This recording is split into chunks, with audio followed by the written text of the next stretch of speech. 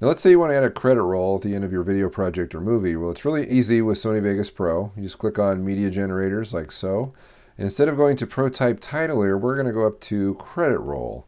The easiest way to do this, drag it to your timeline, and presto, there's your credit roll. Now, this is so simple, it only gives you three basic formatting choices. You have title text, you have sub-item text, which is basically a single column format, and you have a dual column format, item left and item right. Um, if you want to change any one of these, you can easily do it with this button if you want to change formats based on the line uh, that it's on. Easy to do.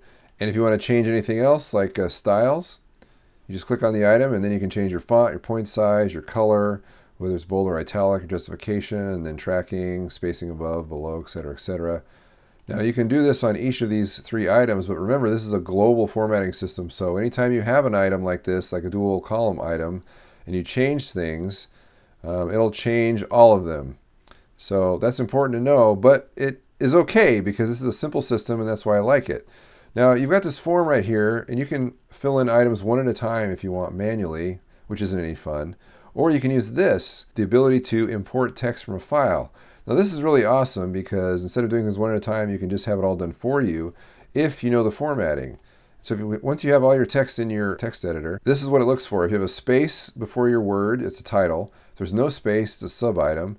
If there is a tab field between two items, it's dual column. And if you just want something in the second column in a dual column format, you just start it with a tab field. And that's basically it. So let's say you have a lot of information maybe someone handed you a program at the end of your video shoot and said, I want all the information in this program in a credit roll at the end of the video. Well, ask them for a PDF file because if you do that, you can then go to a site like extractpdf.com, upload the PDF file, and then it will strip out all the images, text, fonts, and metadata.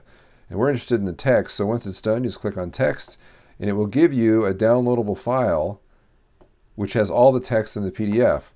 So now that you have all that information, if you format it like this by removing commas and extra spaces and carriage returns, etc., etc., you can then take it back into Sony Vegas Pro, click on this icon, and then load in that text file like so. Now that's seven pages of credits right there that I just zapped into my credit roll without having to type it in. So to me, that is awesome. Now all you have to do is just do some basic formatting with these styles controls and you're all done. Another tip in Sony Vegas Pro is to be aware of this duration right here because this uh, basic credit roll is 10 seconds long, but let's say you want to change it to 20 seconds.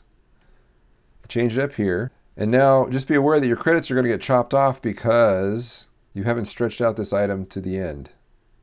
So look for the little notch right here, which indicates the end of the 20 seconds or whatever duration you've set, and just adjust it accordingly. And that's it. Good luck with your credit roll.